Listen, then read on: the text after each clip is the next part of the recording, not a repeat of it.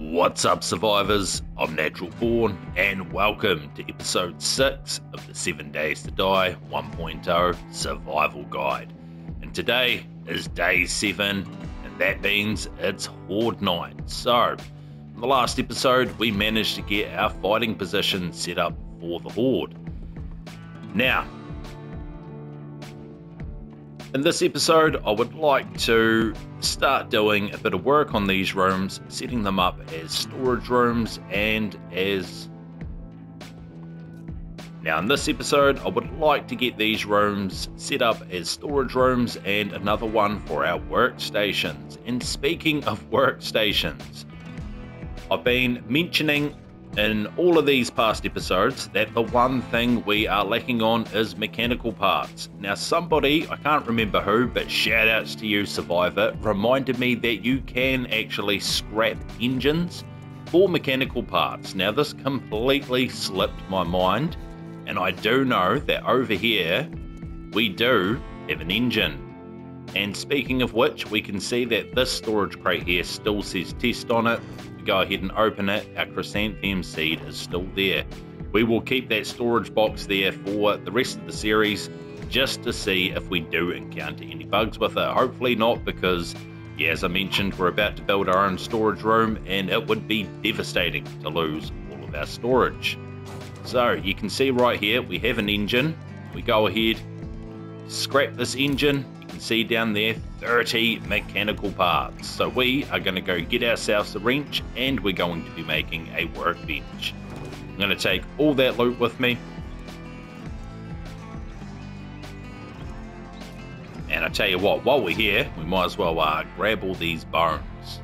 Oh, maybe not. We're a bit, we're a bit full on crap. Tell you what, scrap that. Uh, we're going to drop the broken glass because as I mentioned, every item in this game has a purpose. That one barely does. Same with this here, a note from the Duke of Navezgane. We're going to go ahead and scrape that. Uh, seven old cash, we're going to scrape that. That should be more than enough to go ahead and harvest these bodies. Now, as you can see here as well, this is a great little tip. We press right trigger with the bone knife, you can see this here is the harvesting speed. Not very fast. Now, with left trigger, you can power attack. If you look away, power attack, look away, you can continue to power attack, and that can help you break down these gore blocks a lot faster. Just like that. Alright, so first up on our list is a wrench. We're going to go ahead, track that. We need two duct tape and 12 forged iron. Should have some forged iron in here. Perfect. Some more forged iron there. Um, we'll take the cloth, the water. Gonna go ahead eat that meat. Can't see any glue in there, so we're gonna have to go ahead and craft some glue. Yeah, that is going to be the case, and I'm pretty sure that we are also going to need duct tape for the workbench. Not 100% sure, but if I had to take a wild guess, then uh, I'd say that would be the case. Craft that, and we have bones, a couple bones there. Now this time, we're going to go ahead and craft all of the glue. And we'll give that a quick moment to simmer, and we'll check on the workbench. Alright, five duct tape for that as well and 100 nails. So we will go get some nails organised in the forge.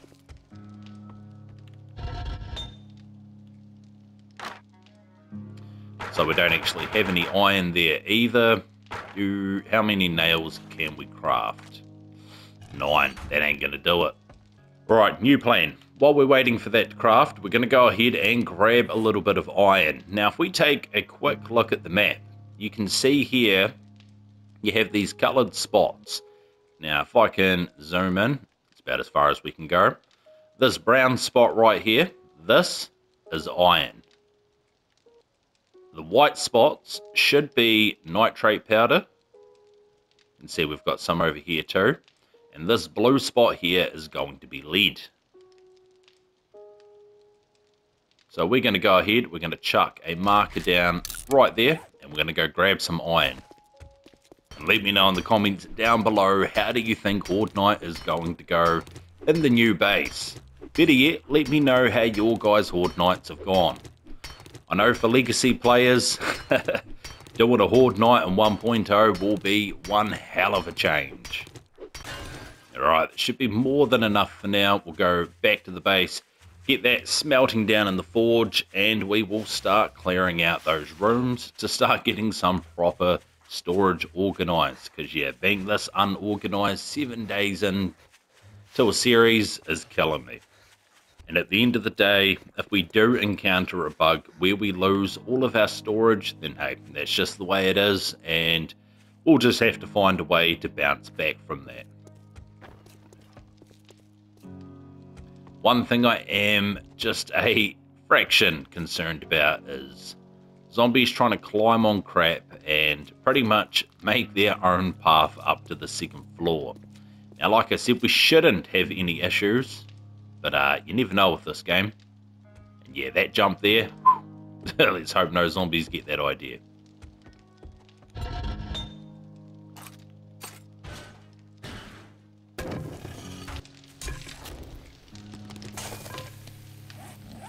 Alright, grab that glue. Um, what are we missing? Water. Alright, we'll grab that as well. Right, so we'll go ahead, turn this into duct tape. So that two, seven, I think it was five for the workbench, so we may even be fine here. We might have enough duct tape for the workbench as well, which will be great. Nails, 56, might as well get those going now. And we're going to go ahead and start crafting this wrench. Two minutes. Right, while we do that, we're going to have a quick look at our skills. Now, there's a lot of skills that I really want to go into, but as I mentioned in earlier episodes, no matter what skill tree you choose, it's good to try focus on that skill tree before you start branching into other ones. It's alright to take a perk here and there. Usually, if you go into any of these other trees, you will have to at some point come into intellect and put a point into advanced engineering and grease monkey so you can make progression with your workbenches and vehicles. Now, as I mentioned, salvage operations is one that I really would like to get my hands on, especially since we've just gotten our hands on a wrench. Lucky Looter is another great one. It's going to increase your loot stage, as I mentioned in another episode. If we come over to character, we come over to core character stats, down here you can see your loot stage. And the higher your loot stage, the better the loot you're going to find. But not only that, with Lucky Looter, it also increases how fast you loot. So how long it takes to open containers, which is more a quality of life thing than anything. Miner 69 and Motherlode, the two mining perks, very good. Master Chef can be great as well because it makes everything that you cook a lot cheaper and it cooks a lot faster. Food can take days to cook in this, especially if you're bulk crafting it. Fortitude, pretty much every perk in the Fortitude tree. I definitely like cardio. It's going to help you re regain stamina while sprinting Iron Gut is going to... Now, what, what it does is it does a few things. Allows you to hold your breath for longer. Reduces food and water loss from physical exertion. A chance of dysentery is reduced. But the big main thing that you want Iron Gut for is buffs from consumables last 10% longer. You max this out, they last 50% longer. That is all of your candies, learning elixirs, recogs. So a learning elixir will allow your character to gain more XP. It gives you an increased amount of time where you can get extra XP, and we're going to go pick one of those up from the trader before Horde Night. Horde Night is one of the best times to drink a learning elixir, because we're going to be killing a lot of zombies, which is going to equal to a lot of XP. Another great one is all the candies. As I mentioned, you can get candies for mining harvest, for salvaging harvest. You can get ones that give you a better percentage for bartering, so buying and selling, and that just makes all of these last longer. Healing factor is great, this one. You can see here, gain 1 health every 35 seconds with natural healing. Critical injuries heal 20% faster. You come down to where it's maxed out, gain 1 health every 5 seconds with natural healing. Now, the only problem with this is that, that healing comes from your food. So every point of health that you heal, you lose a point of food. Not so important in the late game because food is very easy to come by. But in the early game, that one can be more of a curse than a blessing. Pain tolerance, as we covered, makes your character take less damage from zombies. Living off the land, the first perk here is one that I recommend to everybody, at least this perk in all builds. This allows you to get double the harvest of wild or planted crops. Now, planting crops without being specced into living off the land or having the farming outfit is definitely not worth it farming is for farming to be viable, you need to be specced into it and you need the armor. But double the harvest of wild crops, very good. That's your chrysanthemum, your goldenrod, and your cotton. Well insulated, has zero purpose in the game at the moment. As far as I can tell, there is no temperature debuffs in the game at the moment. You have the huntsman. This is going to allow you to harvest more resources from animals and then the machine gunner, there is the different types of machine gun in this game is the pipe machine gun, and then it goes to the AK-47, and then it goes to the tactical assault rifle, and then it goes to the M60. Now the M60 is a light machine gun. When you put a drum magazine mod, so normally it holds 60 rounds, you can put a drum magazine mod in it, boosting that up to 120. Fantastic. And then we have the Brawler, which is using your fist as a weapon. Sounds like we've got an airdrop coming in, and our nails should be good to go. 300, far too many. Uh, we'll just go ahead and craft 100. That way we've got a few extras. Get that wrench down there, beautiful. Alright, where's that um, airdrop? That is the big question. Bit too far for me to want to be running on Horde Night. Alright, sounds like we have a Screamer. Was about to uh, grab a couple things to take over to the trader to sell. But uh, that way we could go pick up our learning elixir before I got a bit too caught up into renovations. Alright, make yeah, she's seen us through there, but as you can see, beautiful. She's gone ahead it's parked up nicely. Now, the problem with these iron bars, or these wooden bars, I should say, is zombies can see you through them. Now, that's only really an issue when you're dealing with cops. I doubt that we're going to get any cops on our first Horde night. It's not impossible, but I just don't think it's going to be happening. But once they get line of sight, they will start puking at you. But here we go, quick wee test run. You can see here. Oh, easy as that. Um, right, don't have time to be fluffing about waiting for these uh, zombies to come up. Just going to have a quick look. I think we had... Um, right, I'm just going to dump all this crap in here. We don't need the workbench right now, so it's not super important that we get our hands on it. There's the other screamer. Uh, we'll grab that. Tell you what, we'll sell those hunting knives. Might as well sell that. And I think there might be a couple of things downstairs too.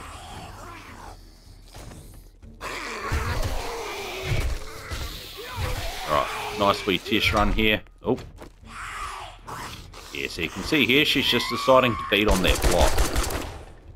Not great, but uh, we will deal with that. Lady.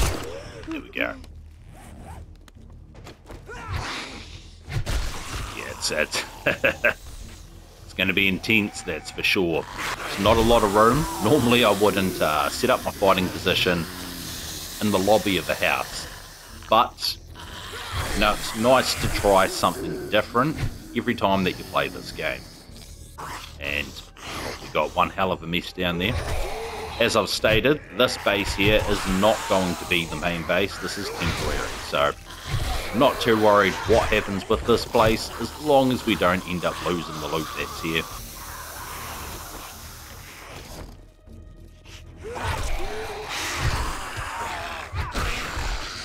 Alright, come on people, line up.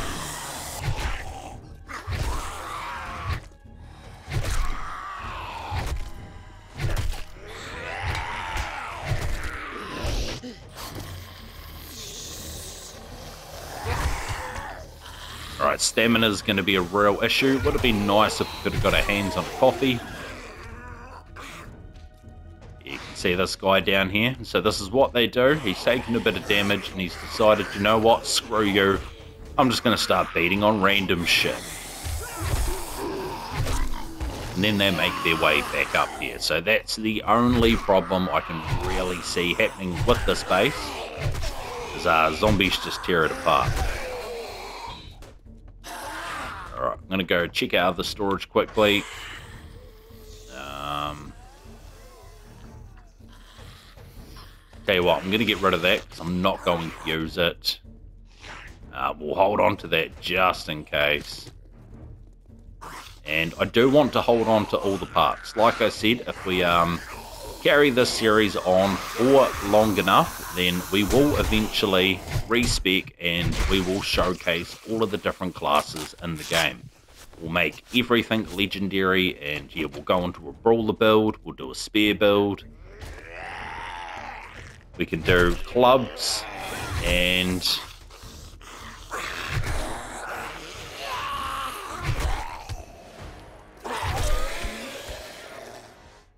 feel like I'm missing another weapon, but I can't, can't think of it off the top of my head.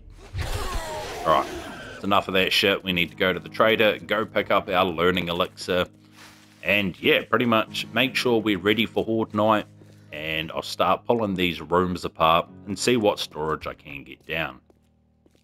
I like to have storage boxes that are allocated to crafting, um, storage boxes for parts, ammo, ammo crafting, weapons, tools, armor, mods, all of that good stuff. Makes it a lot easier to find what you're looking for and a lot quicker at that too. You're welcome here if you shut the fuck up and buy something. I tell you what, mate, might take you up on that. You're lucky I can't get in here on Horde some Night. Or just stand there like a goddamn idiot. You're bringing all the zombies over. Alright, so we've got 1900 dukes. He does reset. Oh, he might have reset today, actually. Day 7. So, learning elixir, 6,000 dukes. When you go ahead and use one of these, it resets all of your skill points. Now, one of the things we will be speaking into is bartering, and when you're pretty much with all of your max bonuses into bartering, you can pick these up for about 1500 dukes each. So, it's good to stock up on those when you get the chance. Alright, does he have glue or duct tape? Because I would take that. We will take the cobblestone. Won't say no to that.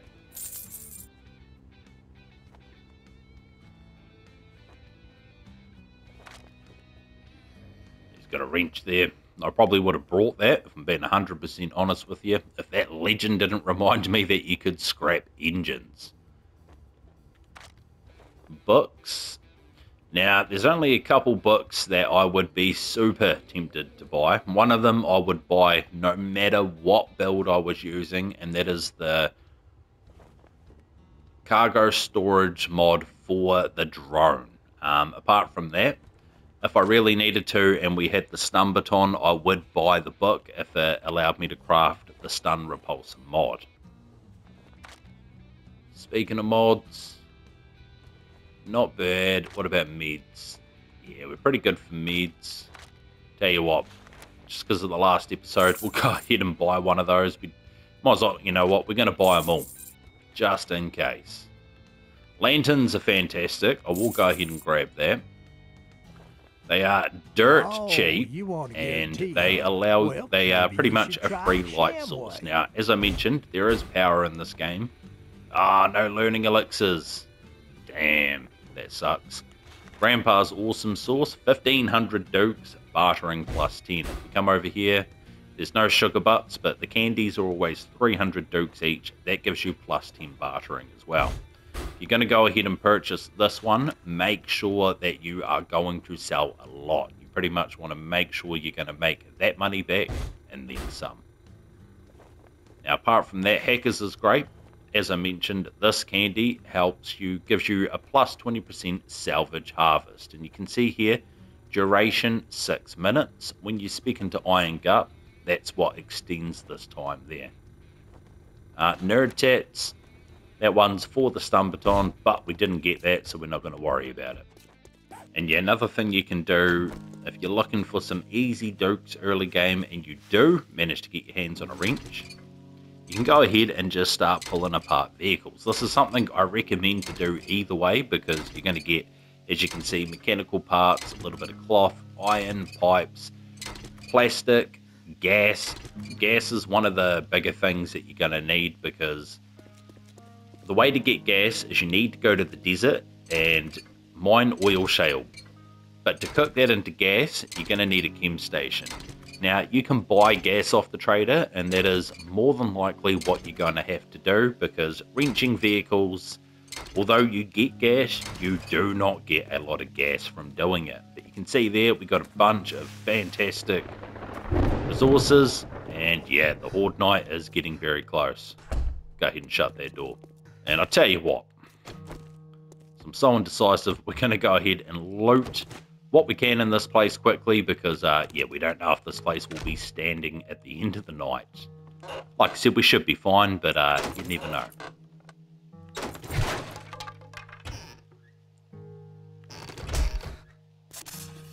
Oh, the fuck? We got a snake in the house.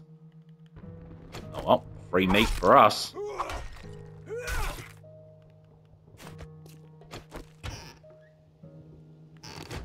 Right, a little bit of cornmeal. We can use that with boiled water to turn it into cornbread. Be a good food source in the early game. Bit food there, which is good because uh, we need food. Couple of coffee beans. I wonder if we can make coffee yet. Not too sure.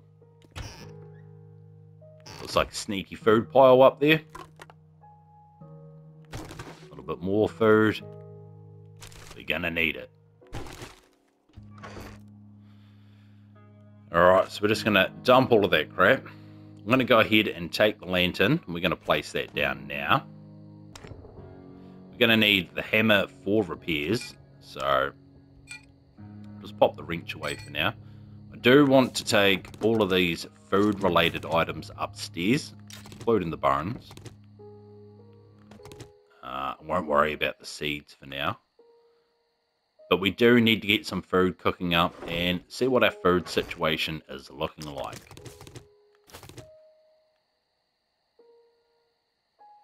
Tell you what, we got the sham sandwiches. We might even eat those before the horde gets here. So we'll take one of those vitamins. Alright, a little bit of water cooking up. Now what can we do in the ways of food? Grilled meat. Grilled corn potatoes. I'll take it. And yeah, we didn't manage to get the um, workbench made either. And we're looking a bit thirsty. So what I'm going to do is first, hopefully I got enough time to do this, with the lanterns, if you go up to shape, you can see here, you can change the color of it. So we're going to go ahead, select the red one, advanced rotation, and we're going to place that, uh, place it right there. See, that just gives us a little bit of extra light back here. Probably would have even been better in that room now that I think about it. So if we pick that up quickly. Pushing it for time here, but it's all good. And we'll just... Uh, well, she's going to be floating from the roof, but uh, it's alright. Maybe if we... Yeah, no, I'd say right there. Perfect. Gives us a little bit of light in here. Like I said, I'm pressing it for time, but it's all good. We're going to go drink from the river over here. I need to get back to the base, grab the cobblestone, and yeah, I guess we're not setting up the uh, storage room today. Don't know where all the time goes, eh? But she just she just flies by.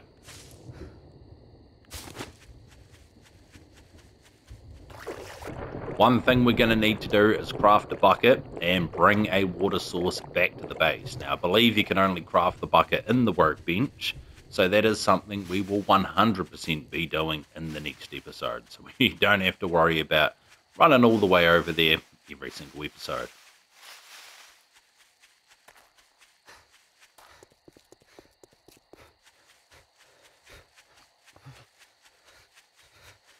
Alright, we have less than an hour until the horde approaches.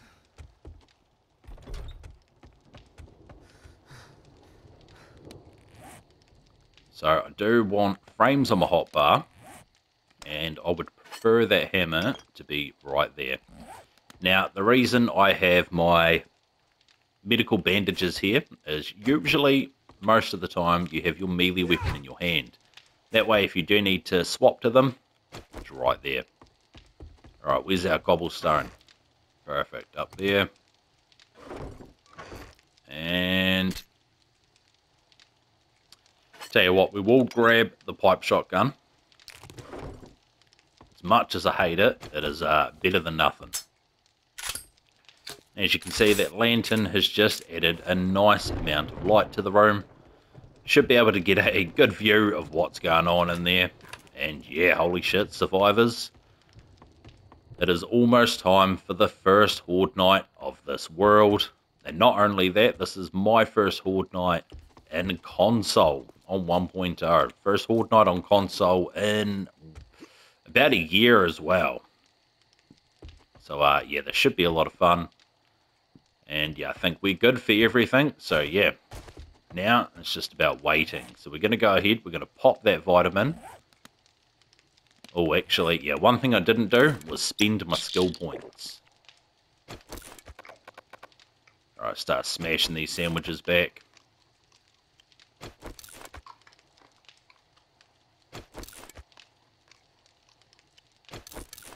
Alright, disgusting. And, oh, didn't want to change that. Alright, holy shit, it's that time, survivors.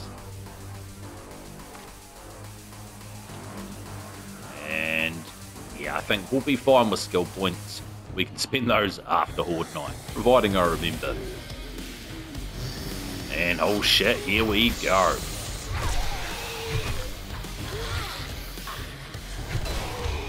Speedy little bastards, aren't they? But yeah, as you can see, with the fighting position, see how these guys are falling down? This is the beauty of these poles. Now the only problem with this fighting position is you need to be aware how close you are standing to the zombies. Because yeah, they do have a good amount of reach on you. They will smack you if they can reach you.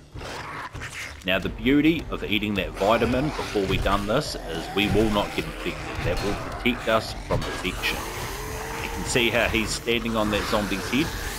They will keep piling up and that's why we put those wedge tips up the top see that we've uh, taken a bit of damage down here. Do some quick repairs. Think that damage is from me. You guys have watched my Legacy Let's Play. You will know for a fact that I am the biggest danger to any Horde base that I make. Although 1.0, it's a bit different. there is a lot more zombies that are a lot more brutal, aka the Demolisher.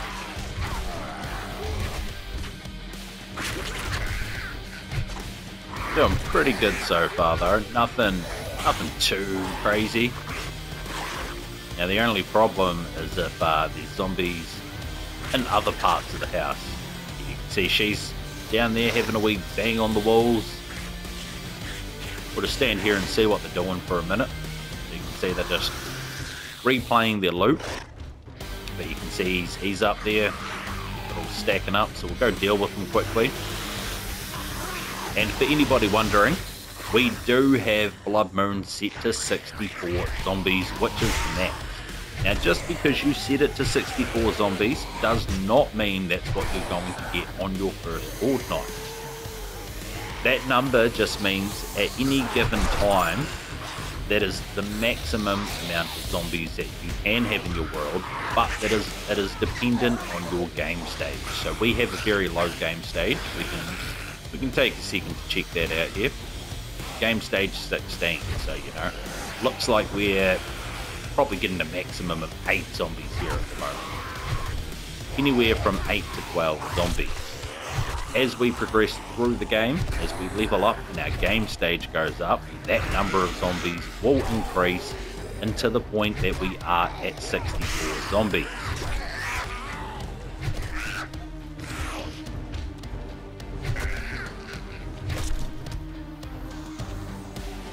Right.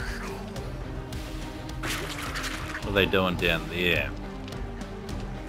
Yeah, they're all they're all um completing the loop nicely. But uh yeah, you'll think everything's going good and the next thing you know you'll hear a block break and some bastard will carve away up from the bottom floor. Now, one thing I like to do in the later game when you've got a bit of dukes is buy Mega Crush. Mega Crush was in the Legacy Edition. It was one of the rarest items in the game to find. Now, you can buy them from vending machines 1.0, and they increase your run speed by, I think it's, it's pretty sure it's 10%, but uh, it could be 15, doubt that it's 20 but um, I like to have one of those on me on Horde nights, just in case shit goes down, pop your Mega Crush, and you can get out of there quick. Uh, it's also good if you decide to do Horde Night on foot. That is something we will do in the series. Don't know how it'll go on console, but we will pop a Mega Crush and we will see if we can fight off a horde of 64 zombies on foot. Should be a lot of fun.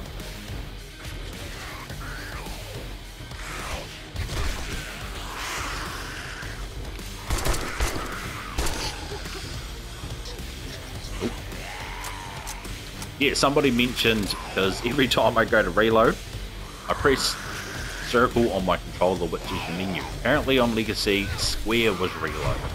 Yeah.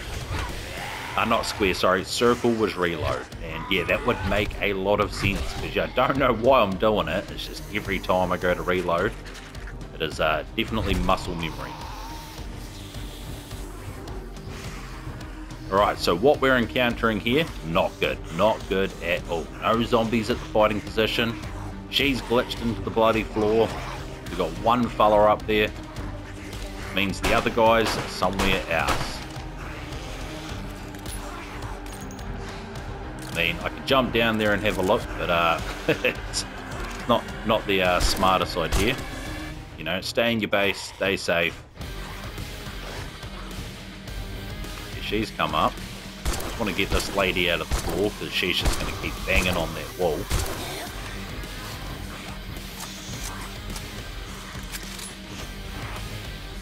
Yeah, not good, not good at all.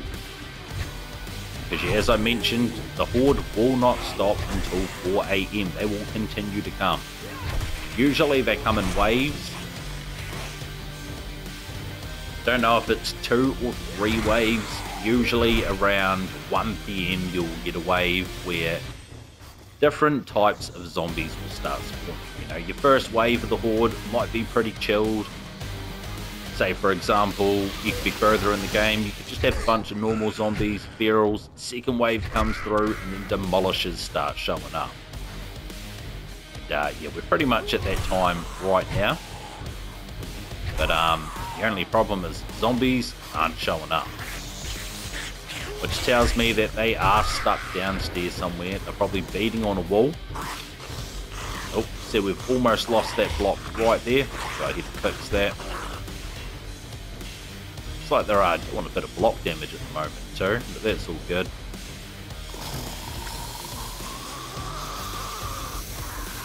Just got this uh, terrible feeling a zombie's going to pop up behind me. Did go ahead and patch that hole up there. And I don't think there were any other locations within here that they could get up, but you never know. Can't see anything out there. It's got this guy up there. Um, was about to jump down there too. But I mean, guys, don't take the risk.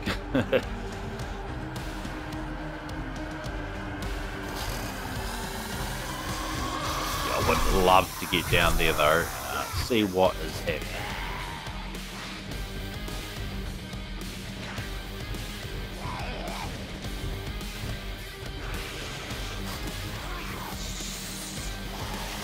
So I can't see anybody down there.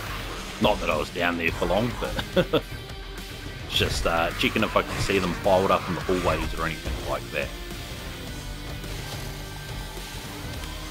Make sure you stay on top of repairs. And providing you do that and you're not getting overrun, then you shouldn't have any issues on board.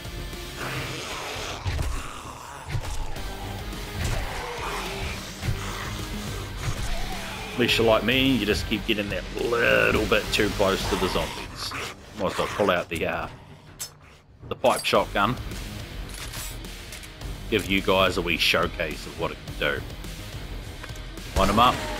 So there we go. Nice point blank range. We got the kill, but look at the reload time on that animation, and it is not great. Like I said, it's good if you're in an oh shit moment, especially day one or day two, and you're dealing with a dog. You miss the headshot, and that zombie didn't even die. But uh, you better popping that and then going straight back to your weapon if you're caught in one of those moments.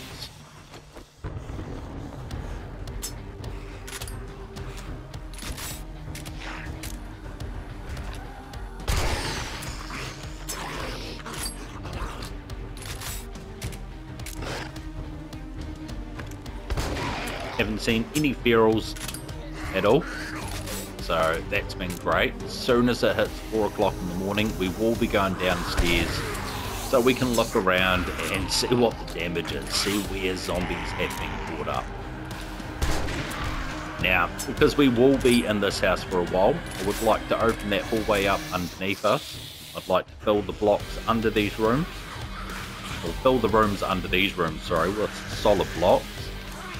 I'd like to open up that area there, just to make it easier for zombies to get in. Uh, one thing that you will encounter a lot of on Horde Nights is vultures. You will hear them, definitely hear them before you see them. If we have vultures, we will come out here and shoot them. A lot of times it can be good to leave bars like this at the roof of your fighting position so you can see through to the sky and you can shoot vultures when they show up. When you get later into the game and you start setting up electricity and stuff, you can get SMG turrets and shotgun turrets and you can set those up so they automatically will kill the birds when they see them.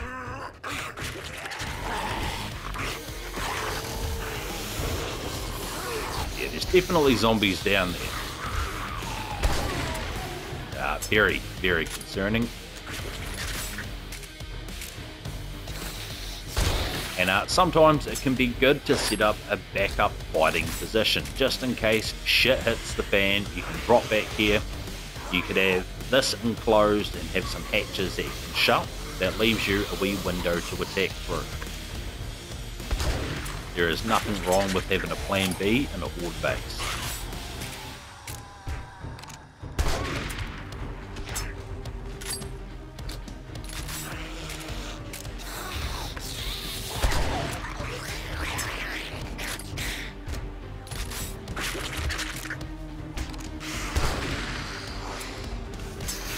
Well the pipe shotgun came in pretty clutch for Horde Night.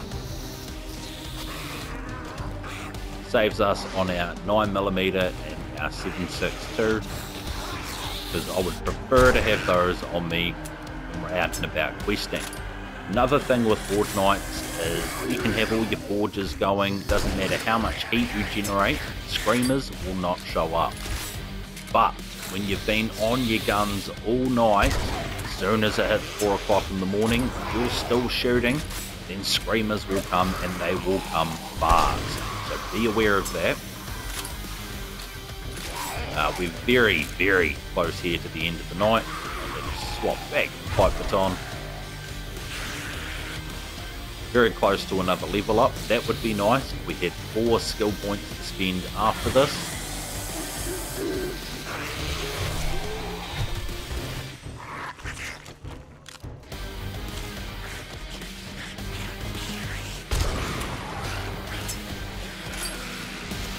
Hey, there we go. First Blood Moon survived. We're going to go downstairs and we're going to see what damage is. Still a few zombies, so I'm going to go ahead and repair that and repair that before we head down there. Make sure we're fully loaded. Yeah, we should be pretty good. Alright. Here we go. One zombie in here. Oh, settle down, lady. God damn. Look at that. They've carved themselves path through there. Uh, we don't want to get ourselves cornered here. But yeah, that's fine. I'm uh, easy with that. That helps him get into the house easier. No one in the garage. Anyone down here? No. Oh, alright, crazy. Well, yeah, I guess there wasn't a lot of zombies downstairs. They, um, must have just been bugger all zombies throughout the night, and that's all good. A lot of that is related to our game stage. Like I said, we didn't have a high game stage, mainly because we died three times. And as I mentioned, that does lower your game stage. Do some uh, minor repairs here. Beautiful, there's that level we were looking for. Should be another zombie on their way, but yeah, we're just going to have a quick look here. You can see all these plates are fine. Wedge tips up top are fine. And then we just have the front blocks on the fighting position. So we go ahead, repair these. And yeah, we're pretty much fully repaired from there. The old janitor down here. And what about down here? So yeah, a couple hits there. Nothing too crazy. Same with there, and we'll go ahead check here. So yeah, a little bit of damage, nothing too crazy. But yeah, as the series progresses and our game stage does go up, then uh, yeah, the amount of zombies that show up will increase, and the damage will be a lot more catastrophic than that. All right, we're pretty good for... I'm going to go ahead, eat a tiny bit of food. Uh, we're good on the water.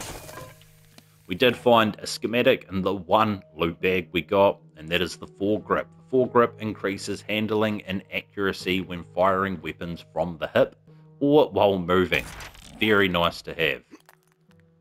And yeah, with that, survivors, that is pretty much it. We're going to head up to the roof. We're going to spend those skill points because let's be honest, if I don't do it now, then it's never going to happen. I'll come in here one day and we'll have 20 bloody skill points. Right, so like I said, I do want to put one point into salvage Ops. so I'm just going to go ahead and do that now. And I think we're going to go one into intellect, and we must need five for this one here five.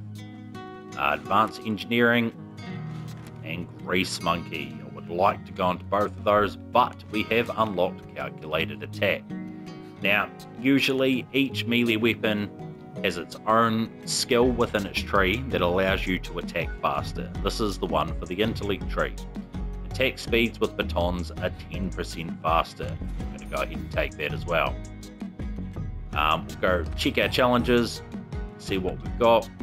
We've got sell 5 items, harvest 10 rotten flesh, and survive the first blood moon. But yeah, guys, with that, that is the end of today's episode.